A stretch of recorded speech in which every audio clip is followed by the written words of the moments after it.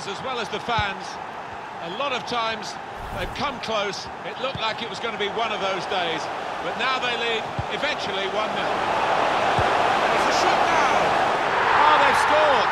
And they may just have saved their bacon here.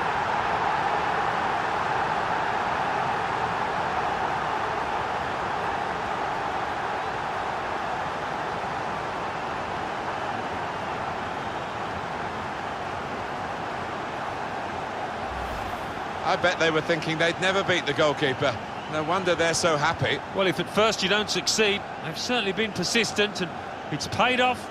Well, it's a goal worth replaying over and over again, isn't it?